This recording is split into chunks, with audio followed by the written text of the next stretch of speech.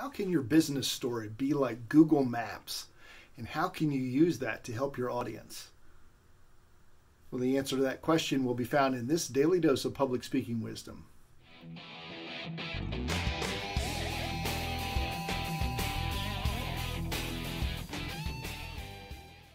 I'm currently working on a story about my mentor Darren and how he's helped me save a tremendous amount of time, frustration, and money over the years.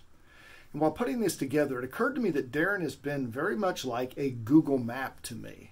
If you've ever used a map device on your phone, you know that it will show you the best way to arrive at your destination. It also shows you alternative routes, those which may take longer, have more traffic, more stops, etc. Not the most efficient way to get to your destination. That's what Darren has been for me as a mentor. That's what you can be for your audience. Your story, your message should be giving your audience hope. If you're offering a service, a product, or just an idea, your job is to give them the best way to get there. As a speech coach, I offer people a five step process to become more confident and influential presenters.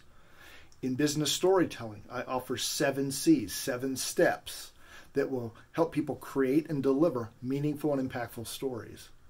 When I was a financial advisor, we offered a five step process to help people become financially independent and secure. How can you be the Google map for your audience? How can you show them the best route to get to their destination and how to avoid those that are full of potholes, stoplights, traffic, etc.?